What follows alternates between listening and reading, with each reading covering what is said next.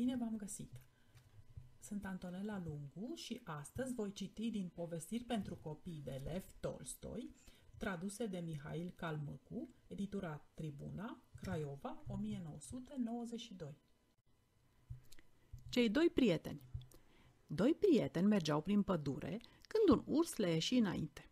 Unul din ei o rupse de fugă, sări într-un copac și se ascunse în frunzarul acestuia.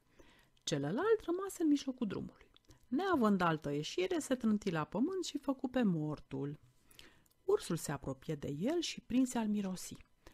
Omul încetă până și să respire. Ursul îi adulmecă obrazul și, părându-i se că într-adevăr este mort, plecă de acolo. După ce ursul se îndepărtă, celălalt coborând din copac și îl întrebă răzând. Ia spune, ce ți-a șoptit ursul la ureche?